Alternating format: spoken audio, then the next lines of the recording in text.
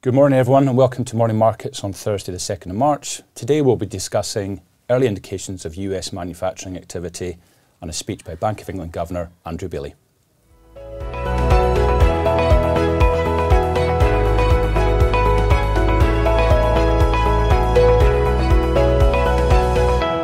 So the US manufacturing activity data was interesting in that it continues to indicate that the sector there is in something like a recession. That is, the, the data there indicates contraction in the manufacturing economy.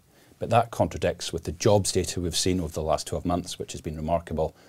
Inflation data, which continues to indicate price pressures, and more timely measures of GDP, such as regional Fed forecasts for GDP for Q1, which continue to point to an exceptional quarter. So that's a communication challenge for the Federal Reserve to deal with later in the month at their scheduled meeting. Now on to UK matters and a speech by Bank of England Governor Andrew Bailey at yesterday's Cost of Living Crisis Conference by the Brunswick Group.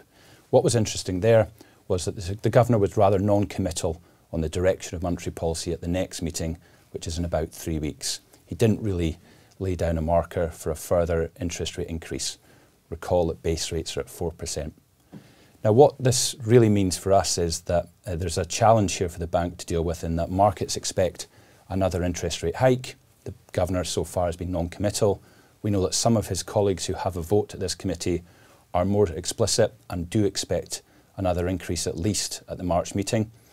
But the challenge, of course, for the UK is that we are likely to see substantial declines in inflation as we get through Easter. This is a positive, and we know that there are going to be there's further momentum in this rolling over inflation because the energy price cap effects will really take hold after July and we should see a material fall in the costs for households.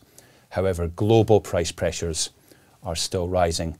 That comes through, for instance, in recent reads of UK food inflation, which was near 20%. So these are very difficult for UK monetary policy to deal with, but there are still challenges and the bank um, is going to have to perhaps increase rates by 25 basis points again and continue to indicate that further interest rate increases are likely as and until these substantial declines in inflation take hold from about April and into May. Now, what do we think is next after that? Well, should the Bank of England inc increase interest rates in line with markets, then everything should be fine and sterling should remain quite strong. However, should they surprise by not hiking, then it might, it's likely that it might actually be sterling which takes the hit and sterling may depreciate somewhat versus currencies such as the euro and the dollar. So please do join us tomorrow when we'll update you again on inflation, particularly with regards to the Eurozone. Thank you.